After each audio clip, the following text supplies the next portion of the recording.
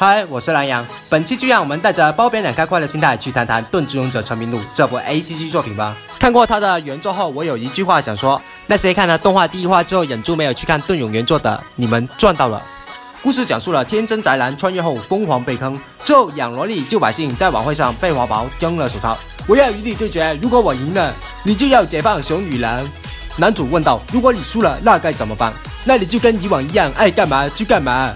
赢了抢奴隶，输了当美食。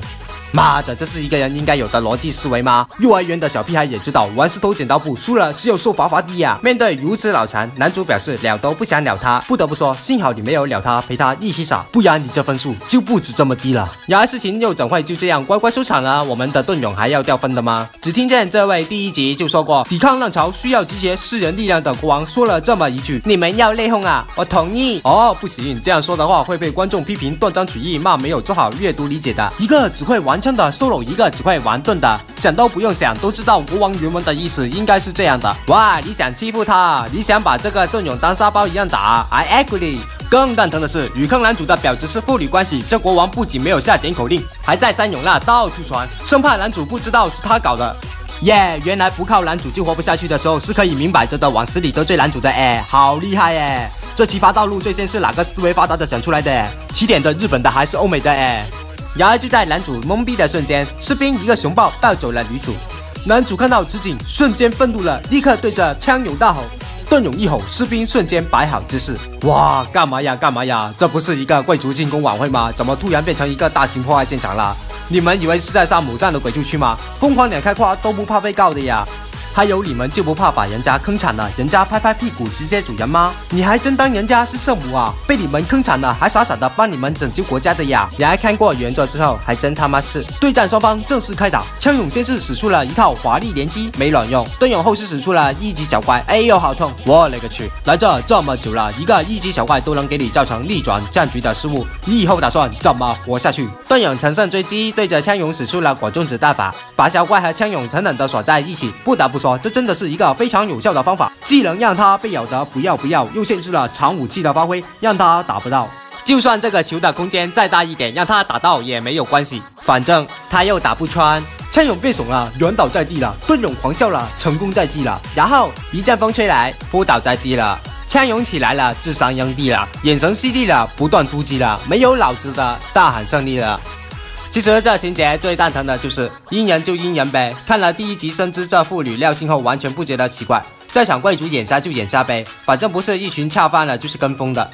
但枪勇这不带脑子思考，还一脸理所当然的行为，简直就是将全剧最脑残的地方选择性的放到最大。有个知名 UP 常用的台词，这里我魔改一下。你知道他为啥突然飞得这么黑远吗？你能理解一个人为什么前一秒哈哈大笑，后一秒当场扑街吗？你能设身处地的？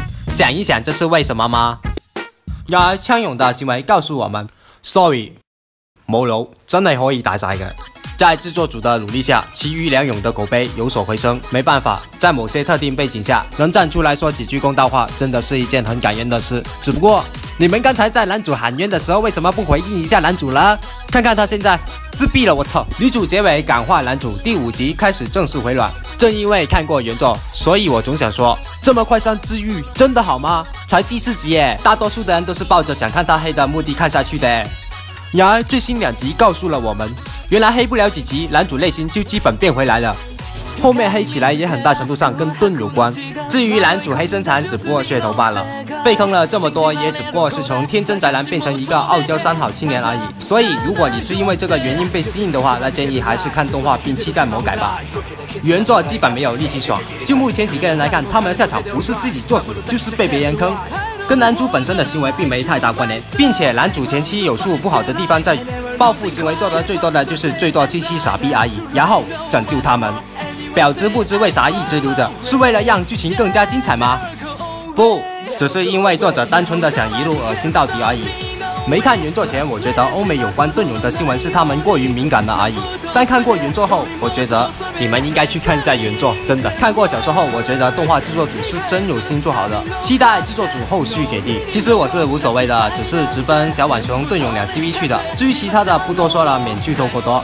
该片最大的成功就是开了个好头，以及几个比较对电波的女主。没了。没了。如果还有的话，那应该是我不是很会欣赏。我只是说了自己的观感而已。你不喜欢随你。觉得本视频 OK 的话，关注、好评、推荐、收藏，支持一波 UP 主，拜托啦，加个关注啦！我又不会时不时的发动态烦你，而且捞视频这种事我又不会做。我是那样，我等下给追金。